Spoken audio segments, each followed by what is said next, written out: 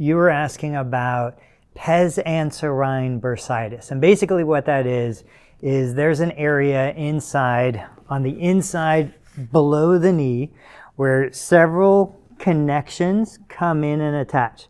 And so it's really common after a knee replacement that this area becomes really sensitive, either down here along the side of the tibia or even up in here above the knee. Here's the joint line of the knee, so this area right in here becomes real sensitive.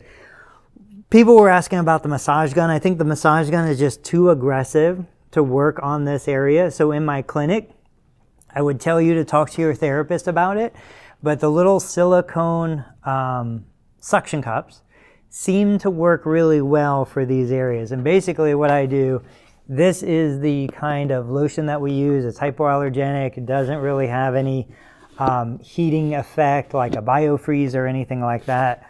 But basically what we do, get a little bit of lotion, put it around the bottom of the suction cup, and what I'm going to do here is I'm going to squeeze it. I'm going to allow it to create a suction on that area. And then rather than letting it sit there, I get the suction and I go ahead and I glide over. Now, I don't have enough lotion on there, so I'm going to go ahead and grab a little bit extra. I'm to apply some lotion around the area that I'm going to be working on. Now, I can create the suction.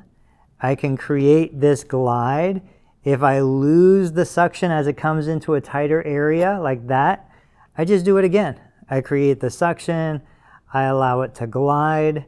You're going to feel a little bit of sharpness to the sensation, but it certainly should not be painful.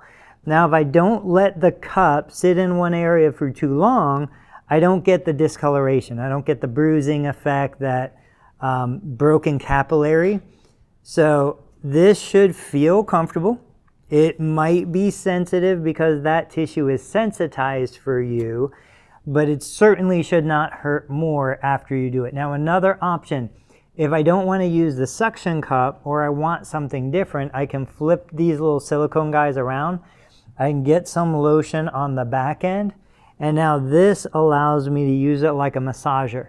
So I can apply pressure. I can glide up along the edge of the bone I'm kind of running right along. Here's the gastroc.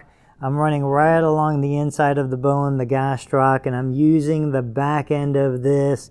It usually allows me to get a little bit of a broader pressure as opposed to trying to go in there with my thumb if I have any kind of arthritic joints in my fingers. But I would spend about two minutes working through this area.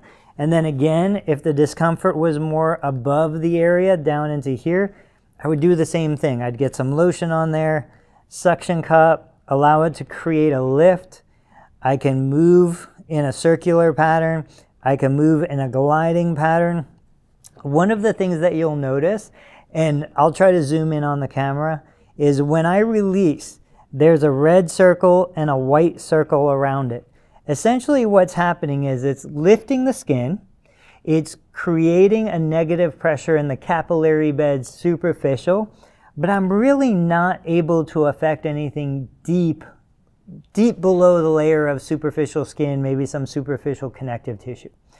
Massage is wonderful because massage allows us to facilitate circulation, facilitate blood flow, mechanically compress, but suction is just a different approach. Whereas massage is all about compression, Suction is about decompression, creating a vacuum, a negative effect. I can lift, I can pull against the skin, whereas when I'm massaging, I can pretty much only press down. So it's just another way to create a different physiologic response local to the area. It cannot affect deep tissue. You're only dealing with the skin and maybe the superficial layer of connective tissue below the skin, not much more than that.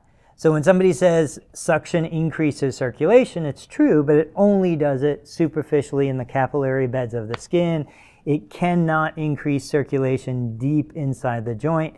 The only thing that's going to do that is movement, and the best movement is your physical therapy exercise program.